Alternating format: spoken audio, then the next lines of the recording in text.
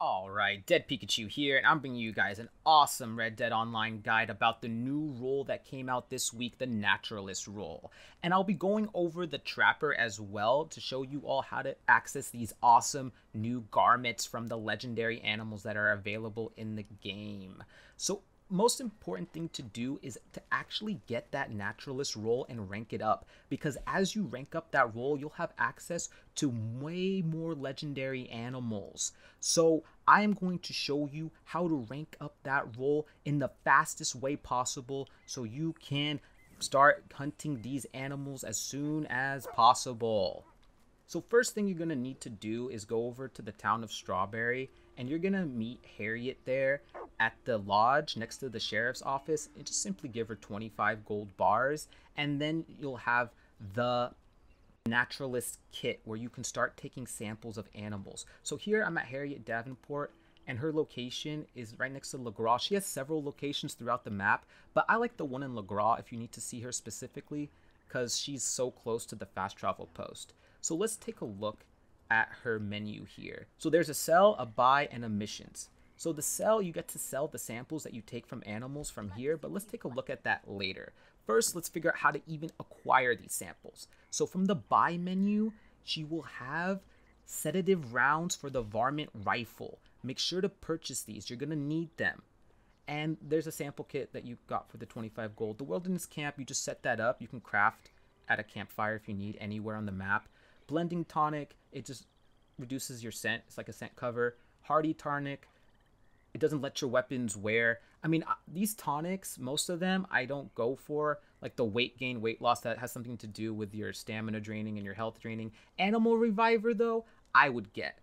Go ahead if you have the money for it because you can rank up your progress reward, which will give you some naturalist XP, and you get 13 XP every time you revive an animal. Now, the pheromones, I don't recommend. I mean, they only work when you encounter the legendary animal, and by the time you encounter the legendary animal, you don't really need them unless you lose them, so I don't really care for those. The pamphlets, now I don't really recommend getting any of the pamphlets. I max out the role without buying a single pamphlet. I mean, if I were to get one of them, I would probably get the sedative ammo pamphlet if I were to buy one. But as you see, I never even got one and I maxed out the role. All right, let's go now and see her missions. First thing you'll probably notice are the legendary animal sightings. Now you won't have access to these legendary animals until you reach rank 5 in the naturalist role. But what you can do is do the start poached animal missions. If you see there on the lower right hand side of the screen, if you push square, you can do that mission and that'll let you free an animal from a cage from poachers. But what I really recommend is ranking up this role, getting it to rank 16 at least, so you'll have access to far more different type of legendary animals. But go ahead, once you reach rank 5, feel free to pick one of these that you see that you like to go for, whether it's to sample or to hunt and skin for the trapper. I'm gonna push X here and start that up and we'll get it going. And I'll show you some quick tips on hunting these legendary animals. Now I rescued the beaver from the poachers and I released it and I took out the bolt action. Now, you cannot auto lock on a legendary animal and you cannot mark it with painted black. So fire at it with a bolt action with express rounds if you want to kill it, or use the varmint with the sedatives if you want to sedate it. And once you skin it or take a sample, the mission will end and it will take you out of this private lobby and put you back into free roam. Now, I'm going to take you back to Harriet here, and I'm going to show you that her missions reset. So if you see the animals on the list here and you don't like any of the animals that you see, just wait or come back later for the list to reset depending on how much time left. Here I only have 5 seconds till they reset, so I'll wait and see what comes after the reset. Now I have a boar, I have a ram, and I have the moonstone wolf. The moonstone wolf is something I want to hunt and kill. And this is great because now I can show you all my technique in hunting legendary predators. There's simple tricks that you can do to make it so much more easier to get these animals without having to worry about them mauling you. Okay, so when you start this mission, make sure to feed your character and feed your horse as well so your horse is less skittish. I feel like when your horse is full, it doesn't buck you off as fast. So now that your horse is fully fed and your character's good and ready to go, it's the simple mission of just explore, find the clues, and follow the trail to the next set of clues until you reach the legendary animal. So I'm going to keep following the clues here until we reach this legendary animal, and then I will show you how I hunt him. And I prefer the bolt action. You can use a Springfield as well, something that has a good firing rate. I really like, and use express rounds. Do not use explosives or incendiary rounds because you will damage the pelt and you cannot skin the animal after you kill it with explosives or incendiary. This is not like story mode. So make sure you use express rounds or high velocity, whatever you prefer. I prefer express because they have a little bit more damage. So take out the wolves around the side and then focus on the legendary here. Now here's a simple trick to guarantee the wolf won't attack you. If you see a rock around you, try to push square and hop up on top of the rock. If you can climb on top of the rock and get off the ground, the wolf cannot jump up and bite you. So then he's just sitting there below you and you can easily pick him off with your rifle.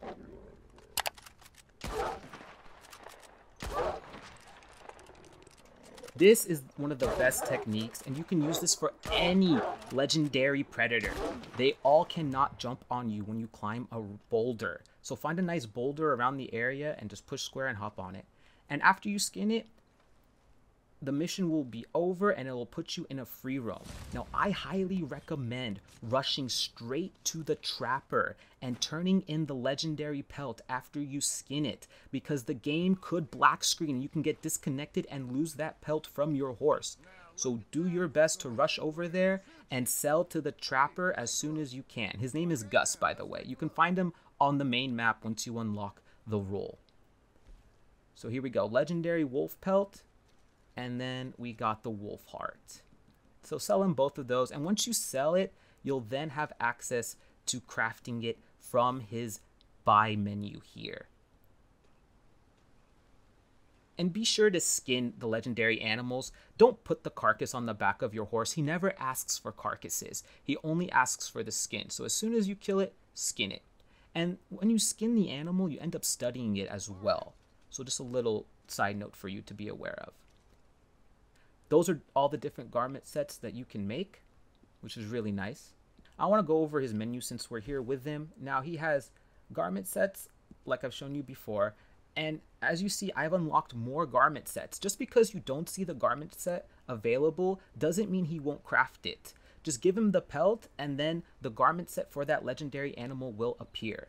Now below it we have clothing. There's hats, now, be mindful of what he's asking. He's asking for the whole carcass here, a perfect carcass. So don't skin these animals that he wants for perfect carcasses. When he asks for the pelt, though, or the skin, then you skin that animal. As you see here, this is also a carcass for the deer, but the other one asks for the ram hide.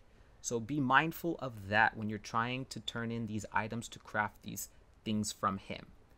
And as well, there's coats too. The bear coat I really like. Now there's also a poncho, a wolf poncho, which is really cool. There's these gauntlets, as well as some gloves. And push L1 and R1 to cycle through the different clothing options. Alright, now let's take a look at the trinkets. These trinkets will give you a passive buff to your character once you craft them. So as you see, those are the recipes, and the info shows you what it does to your character as a buff. The one I have right now will slow my weapon degradation by 10%. I'm going to try to get them all. Now, equipment here, you can get a new variation for your bow, or you can get saddlebags. And there's ammunition.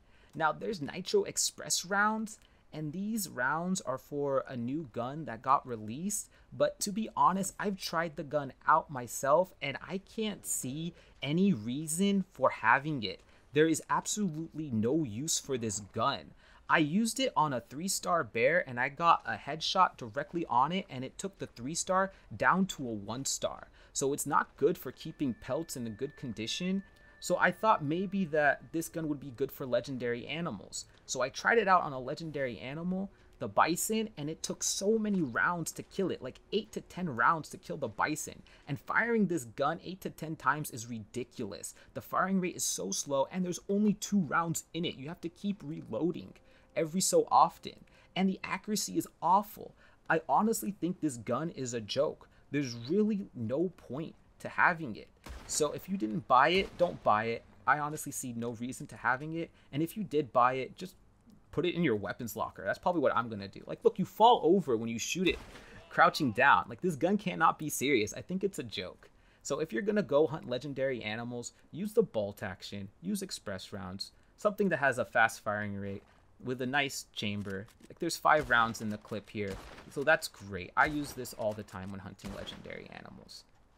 But yeah, if you know a use for the elephant rifle, please let me know in the comment section down below because I can't find a use for it.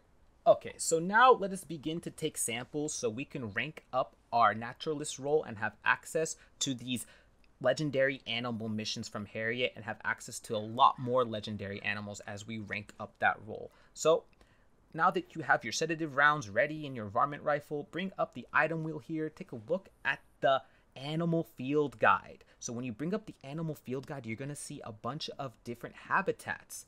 Now, I like the desert habitat. I feel like this is the best one to grind out levels for. The animals are so easy to get. There's two sets of pronghorns and there's two sets of rams. So there's already eight animals right there done and over with that are so easy to find. And then the armadillos and lizards in that are so easy to find too. The only one that's hard is the cougar and the black-tailed rattlesnake. But I have specific spots where you will always see them spawn and I will show you that in this video later on. Okay, so now I will show you how to see what samples you have already collected. So open up your satchel here, and when you open up the satchel, go into valuables, and then from the valuables, you'll see different habitats. So when you click on one of the habitats, it'll show you all the animals that you have collected for that specific habitat. Now, I like to collect one of each for the whole habitat, and then once I collect one of each for that whole habitat, then I can keep track of how many full sets or collections of samples that I have already collected. As you see here, I've collected six of most. So I'm gonna go to find the ones that I only have five of, sedate them and sample them so that I can have six of each of these desert animals and then I'll show you the correct way of turning them into Harriet so you can maximize the amount of XP gained without wasting samples. So first off, let me show you my method of collecting samples out in the desert habitat, as well as how to get the cougar and the black-tailed rattlesnake to spawn in. So let's go out to Tumbleweed and get this going. Okay, so now that we're out here in Tumbleweed, I love to go head over towards Gus because I find most of the animals, especially the critters like the lizard, the iguana, the Gila monster, they're over there by Gus, as well as sometimes you'll find the desert sheeps. Okay, so let's go head on over there and begin hunting. So now as I ride out towards Gus, I like to activate my eagle eye every so often to see what animals are available. Now I'm looking for doe. Those are bucks. So those aren't the ones I want, but I just want to show you my ability loadout here that I use for collecting samples. I recommend Painted Black and Unblinking Eye. The other two cards, I leave that to your discretion, but Painted Black and Unblinking Eye, I really recommend when you go around collecting samples because Painted Black, you can mark the animals with the sedatives, so it's easier to hit them. And then Unblinking Eye, it'll keep you in Eagle Eye for far longer, which makes looking for animals far easier. Okay, so as you see, I'm an Eagle Eye here, and I see a lizard on the ground running, and that's the Gila monster. Now I'm to shoot it till I see the hit marker turn red. As you see the diagonal lines on the hit marker become red, then you know you have successfully sedated the animal and it should begin to fall to the floor. Press and hold square to take the sample, and then you can press and hold triangle to revive it if you have revivers on you.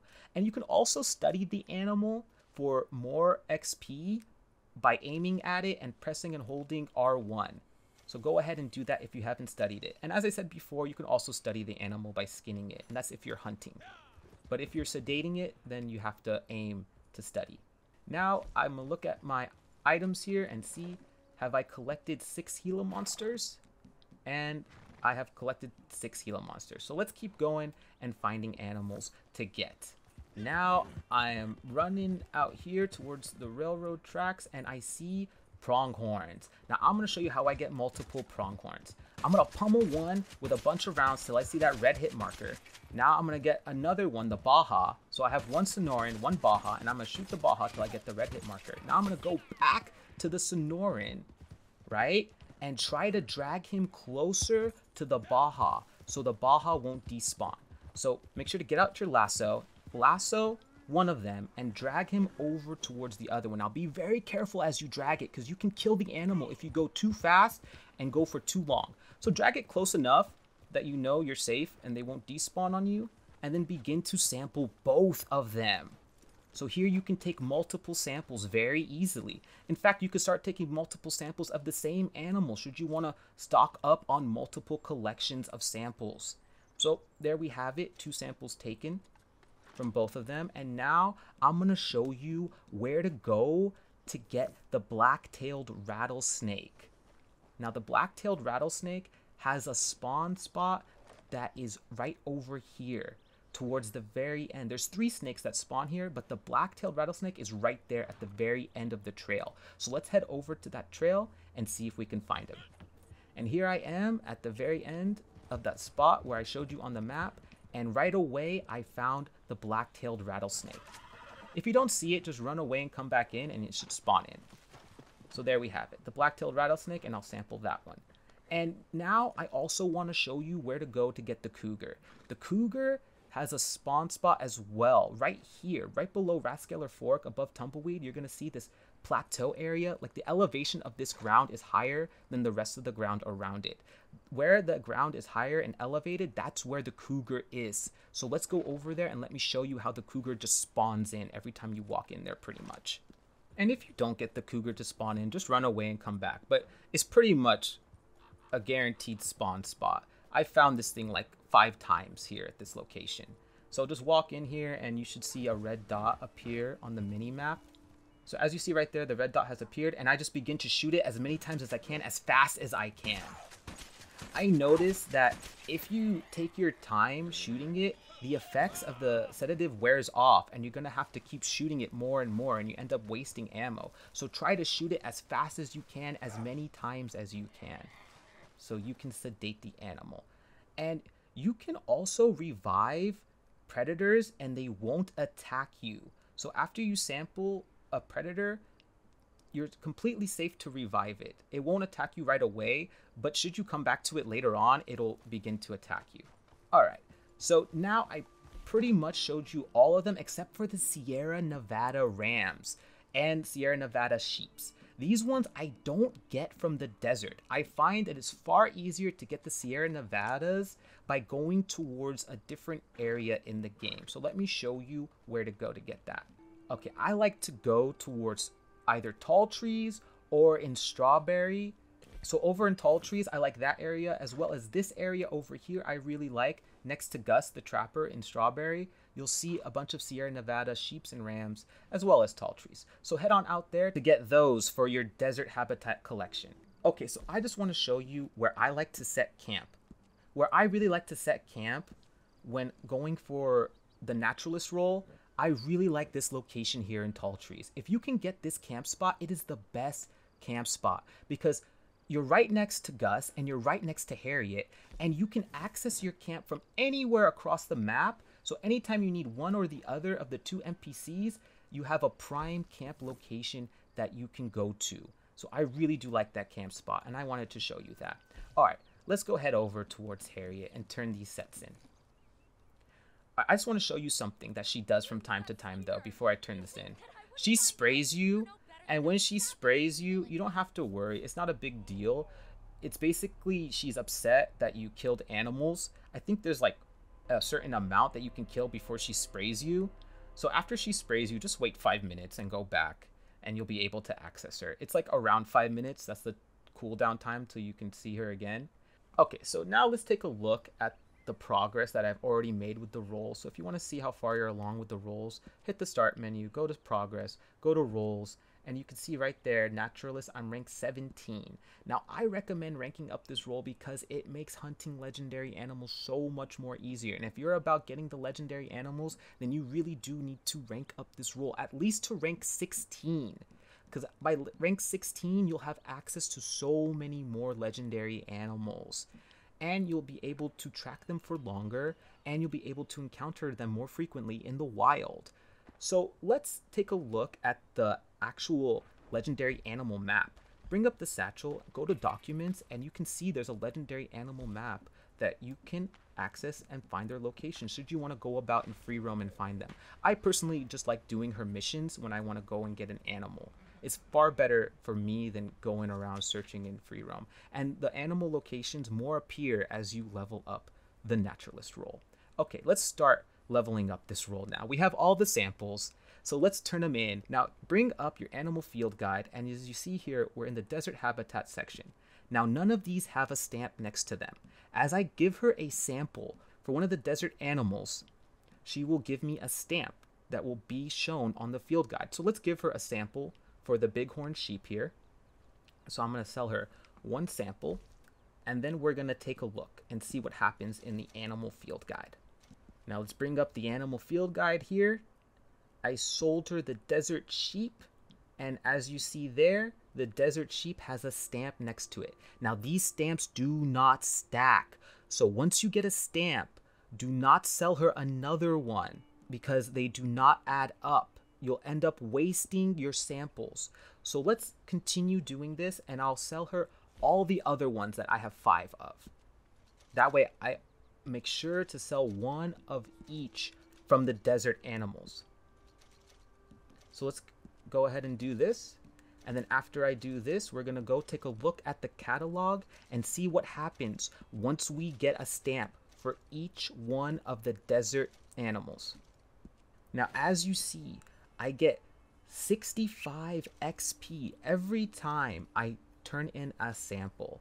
So that right away, right there, is 910 XP because those are 14 samples, each at 65 XP. Okay, so let's go ahead and bring up the animal field guide here and see what happens now. So as you see, there's a stamp on the desert habitats. The other habitats don't have a stamp. So now I could trade this in. So let's take a look and see.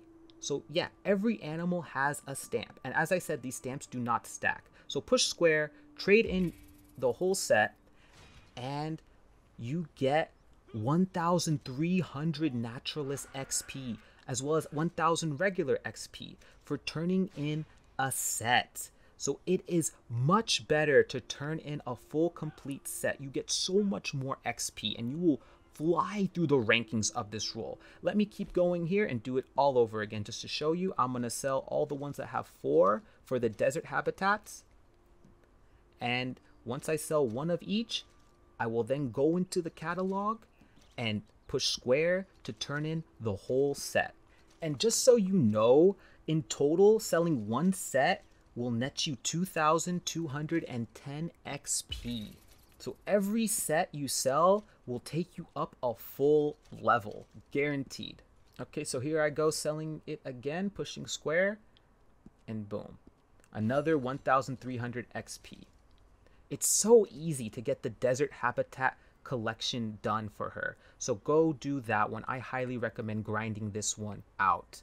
It is so easy to max out this role, to rank it up, so then you can have access to all those cool legendary animals. This is really, really awesome. And I will max it out now by just simply selling her one of the legendary samples that I have. So let's give her this legendary cougar sample.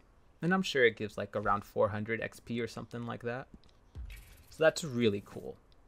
So yeah, I mean, this is the best advice I can give. I really do hope this guide was great. But before I end this, there is something else I really want to go over. There is a photo option that you can start taking pictures of these animals. So there's a camera that you can buy called the advanced camera. I'm going to show you how to get this. It's really nice, the advanced camera. It's much better than the regular one.